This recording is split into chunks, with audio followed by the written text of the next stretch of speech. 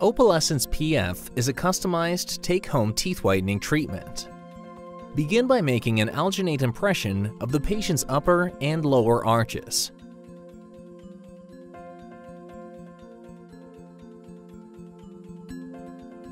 Pour impression with fast-set plaster or dental stone. Pour alginate shortly after making impression to ensure accuracy.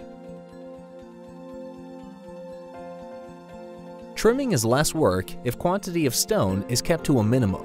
Palate and tongue areas are not poured or should be removed after plaster has set. Allow model to dry 2 hours. For reservoir spaces, apply Ultradent LC Blockout resin approximately 0.5 millimeters thick onto the labial surfaces. Stay about 1.2 millimeters from gingival line. Do not extend onto incisal edges or occlusal surfaces. Using VALO LED curing light, cure each tooth 5 seconds. With vacuum former, heat the tray material until it sags down approximately 1 quarter to 1 half inch. Activate the vacuum and adapt the softened plastic onto the model. To avoid distortion, cool the tray material completely before removing from the model. Cut away the excess material with Ultradent utility vinyl cutters. Use ultra-trim scalloping scissors carefully and precisely trim the tray to clear line which is at the gingival height, flaming edges to reduce to desired height. Scallop edges to avoid contact with gingival tissue. Return tray to model. Check tray extensions.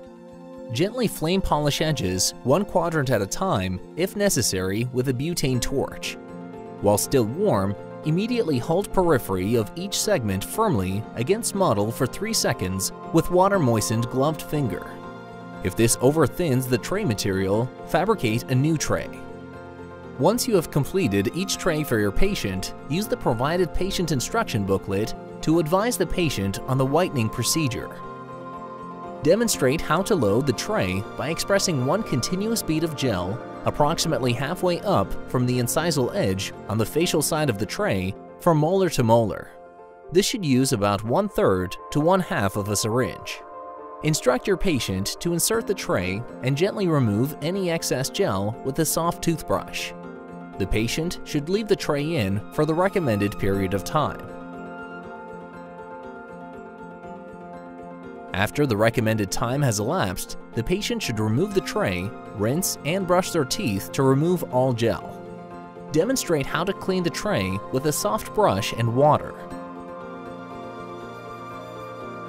Be certain to read the product instructions, warnings, and information contained in the package, and advise the patient accordingly. It is recommended to monitor the patient's progress.